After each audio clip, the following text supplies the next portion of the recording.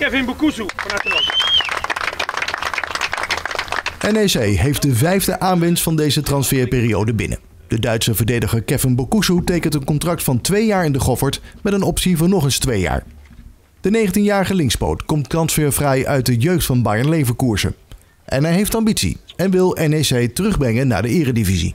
Ähm, ich finde, ich bin ein starker Spieler, starker ähm, äh, Defensivspieler und äh, ich denke mal, mit, meine, mit meinen Qualitäten kann ich der Mannschaft helfen, in die erste Liga zu kommen.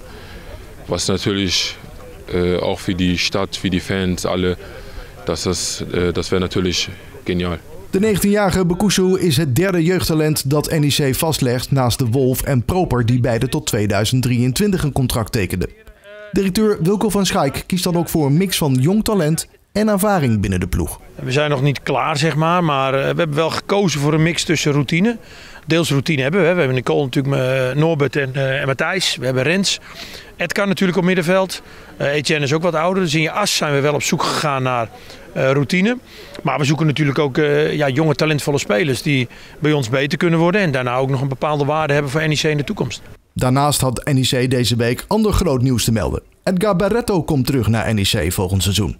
En dat nieuws had een grote impact op de supporters. Ja, ja ik, ik heb echt ja, verbaasd. Ik wist wel dat het wat teweeg zou brengen. Maar het heeft me verbaasd wat het in, in Nijmegen extra teweeg bracht. En ook wat de Nederlandse media ermee gedaan heeft. Uh, ik denk dat in elk voetbalprogramma op elke site was het groot nieuws. Ja, het is natuurlijk ook een grote naam. Kijk, als jij 13 jaar in Italië hebt gespeeld en uh, dit seizoen ook gewoon eigenlijk continu bij de selectie van Sampdoria hebt gezeten. Die Serie A, 60 Interlands. Komt er gewoon een hele grote speler terug.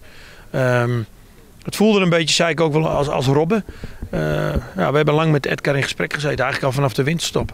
We wisten hoe fysiek hij ervoor stond, wat zijn drive was. En we zijn super blij natuurlijk dat hij uh, voor ons gekozen heeft. En dit, dit is wel iemand die wij in de kleedkamer nodig hebben. Die we op het veld nodig hebben. Ja, dan is het wel een cadeautje dat zo iemand met zoveel ervaring en zoveel voetballend vermogen voor NEC kiest. Van Schaik voerde lange gesprekken met Barretto om hem naar Nijmegen terug te halen. Maar mede door de actie van de supporters zegt de Barretto uiteindelijk ja tegen NEC.